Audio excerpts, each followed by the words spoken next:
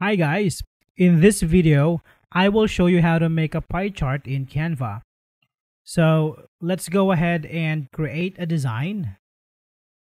Click presentation. Click on elements. Scroll down and go to charts and click see all. So here we can see pie charts. Choose your style. Let's go ahead with this one. You can also change the color or the theme for the pie chart. Just click on the color box and choose the color that you want. You can check out the settings if you want percentages or numbers. So for this example, let's go ahead with percentage.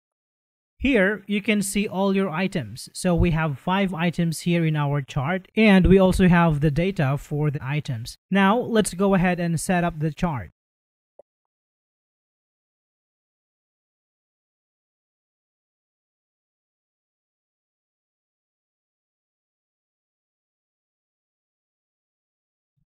You can add the title for your chart. Click on text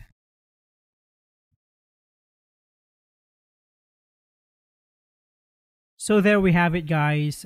Thank you so much for watching and I will see you in the next video.